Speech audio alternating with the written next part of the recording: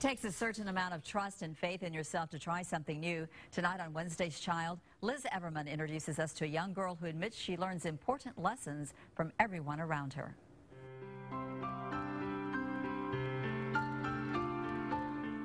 You ready for the cold? 13 year old Lucy is gearing up and suiting up to brave the cold at Iceland. Luckily, she has Leah, an experienced skating instructor, to hold her hand. And if you want to just go really slow backwards, all you do is just wiggle your hips.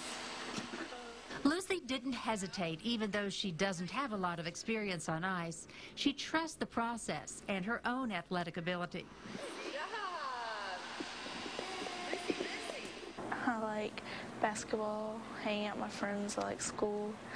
I like pizza, and I like my dog Coco.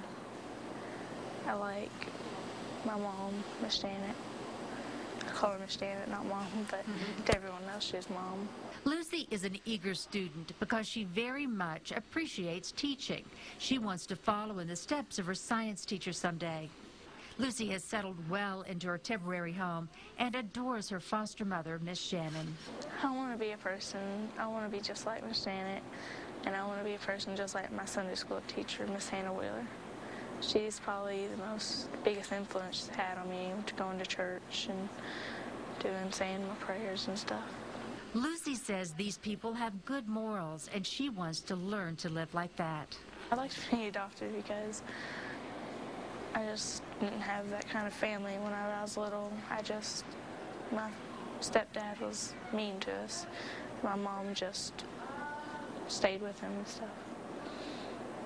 It's hard.